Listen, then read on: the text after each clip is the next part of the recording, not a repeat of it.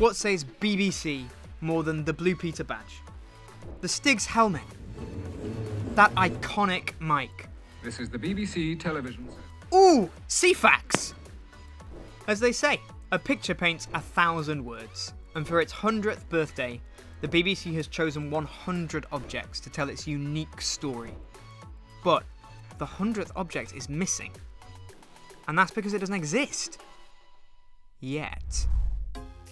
So BBC R&D were approached to design the 100th object. And the idea was that it wasn't going to be an object from the past, it was going to think about the future. So we worked with schools across the country to understand their ideas and what they thought 2042 was going to be all about. First of all, we ran a workshop on how to become an inventor. Then we got them to come up with ideas in groups, so inventions, and then they had to build it. So they built it out of cardboard and other pieces of junk.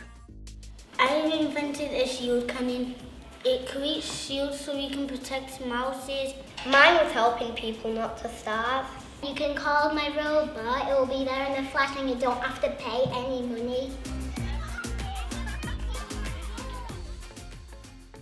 We really, really wanted them to come out of it thinking, we can be inventors, we can do this, and to have like a positive idea of what the future might be and how it might and how they might shape it. An inventor makes stuff that is helpful and useful. I think I'm the best inventor ever. I loved today.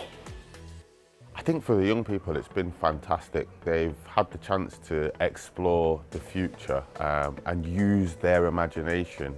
It just shows that they're really thinking about people and really thinking about the future in a positive way.